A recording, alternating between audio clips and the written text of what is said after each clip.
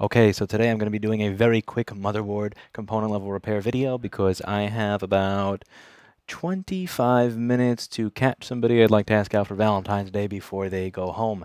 What we're going to do here is try to figure out why there's no picture on the screen. This turns on, but there's nothing on the screen and there's no chime. And Man, if you've been watching this video series for more than five minutes, you should realize that what you need to do is check and see if your computer has CPU vCore. It's not an image problem when there's nothing on the screen if it doesn't chime. This needs to chime. It needs to go dong. As Sunny would say, it needs to have a nice long dong in order for it to actually work. And when we turn it on, we don't get a nice long dong. I know we don't even have a nice long dong. Nobody present here has a nice long dong you know, if I did, I'd have a date for Valentine's Day.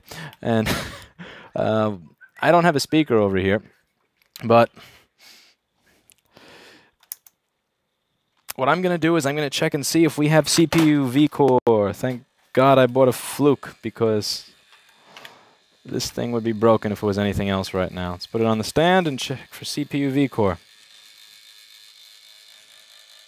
My test fan is broken. Nothing. And again, this is a this is a quickie video, so if you want the full explanation of everything, you can look at the CPU IMVP underscore ton video that I did a long time ago. Basically, this buck converter IC is meant to take 12 volts and turn it into 1 volt or around there for the CPU. Now, this is something that can be used in many different machines. It can be used in machines that have a 12 volt power supply, an 8 volt power supply, a 14 volt power supply. But how does it know the speed to set the switching? It's going to tell that from a resistor going from the high side power supply to the chip. And unfortunately here, they're broken. Now, usually this would take people a little longer to find because the person who sent this in ultrasonically cleaned the hell out of it before it got here, which makes it difficult to find exact flaws. The reason being because where I would usually see a bunch of green stuff in this area, here I don't see any green stuff in this area. There's no real clue. I just know to look there because, well, let's face it, I fixed enough of these things by now to know where to look for shit. But yeah, usually for the beginner, when you get this stuff, it may be harder. So I don't recommend that beginners work on boards that have been screwed with before because you can't really understand what the other people did. The additional variables are going to confuse you and just make your life a little bit more difficult. But after doing the same exact thing 50, 100, 200, 500, 1,000, 2,000, 6,000 times, you get to understand what's going on. At this point, I've done the same shit enough times that I'm not even opening the schematic. No schematic open here. But it's obvious what's going on. So what you should do to understand this video is check out my video on what is a buck converter because I use visual representations to teach you how a switching power supply works. So when I say setting switching frequency based on the high side power supply, you'll understand. So the way a buck converter works, very simply, is it's going to take a higher voltage and turn it into a lower voltage. So this computer has a 12 volt battery. However, it has a CPU that runs off of 1 volt. If we send 12 volts to the CPU, very bad things will happen. The CPU is not going to be happy with that. So we have to send it 1 volt. So how do you turn 12 volts into 1 volt? Well, what we do here is we switch, go back and forth, switching, switching, switching, switching, switching. So we'd say, here, have 12 volts, now here, have none. Now here, have 12 volts for a second, now here, don't have 12 volts. And what happens is it averages out to 1. So if you have a little bit of 12, a lot of nothing. A little bit of 12, a lot of nothing, and we keep going on that way, what happens is that it'll average out into 1.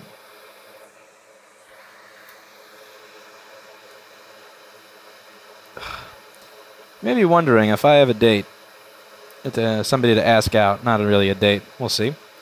Why am I here doing this? Why don't I stop? Don't I? You know, why don't I leave early?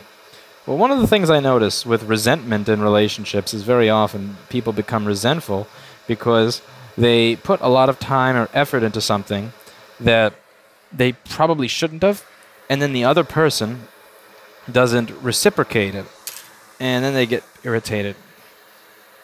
Now, this person never asked me to ask them out, So wha what right would I have to be mad at them because I took off work early to do this? I took off work early so that I could ask you out for Valentine's Day.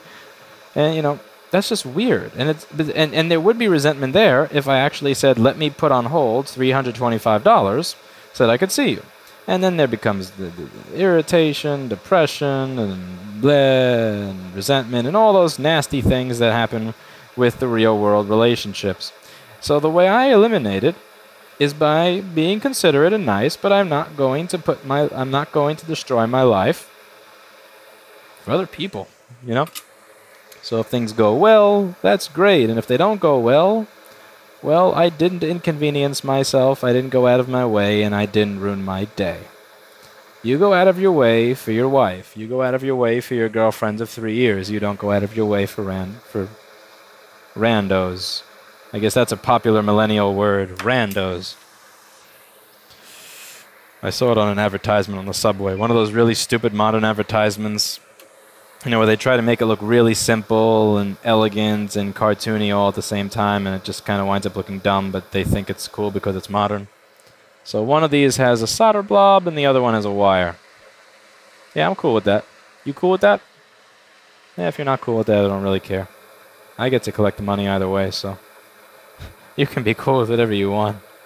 Why am I asking approval on work from YouTube people? It's beyond me. A lot of people on EEVblog don't approve of anything that I do, apparently. There's this interesting thread. It's like eight pages long, and you curse too much. You use too much flux. You don't know what you're doing. You think you, well, just shut up and go away. That's what I have to say to that. I've said on this channel a lot, when I have questions, there's nobody I can go to have them answered. And every now and then somebody will go, you should post in the EEVblog forums. And no thanks. No thanks. It was funny the sheer amount of misquotes in that thread, like, you are afraid of your competition, you and blah blah. It's like, you realize that I hold a class where I teach my competitors how to do the same thing I do, right?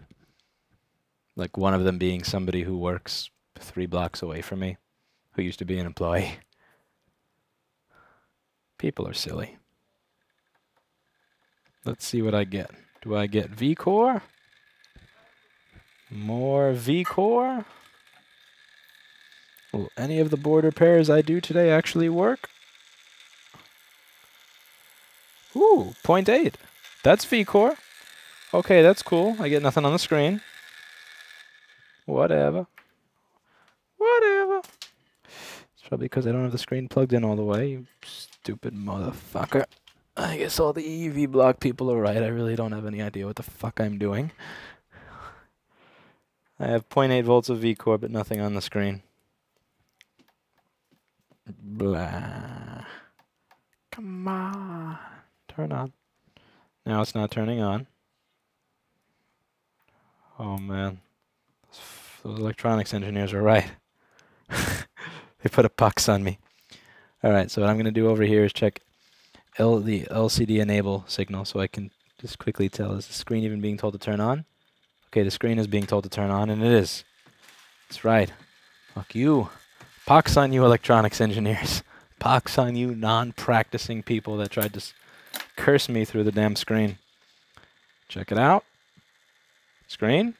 It's lighting up, which means I have V-core, which means I'm good. so I have three minutes left to make it to ask this person out before they go home. Should, I should spend some of that showing you what was wrong with this motherboard. All right, let's go over that. That, yeah. A date lasts an evening, but a motherboard repair video is forever. yep. Alrighty. So let's move over to the screen.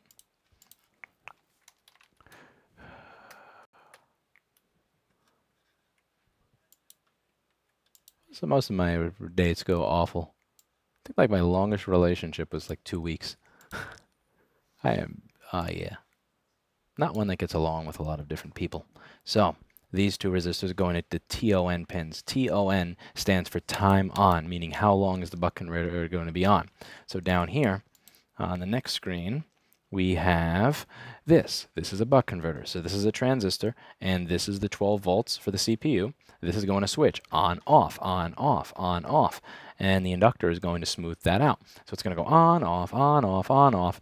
And it's going to be on for a tiny bit of 12 volts, then off for a long time so that we can get that 12 down to 1. But this needs to know how long to be off and on for, and this is going to tell it when to turn on and off. Now for this to be able to do that properly, it needs to know what the power rail is that that transistor is working with, which is what these two resistors are here for. And they're very commonly blown.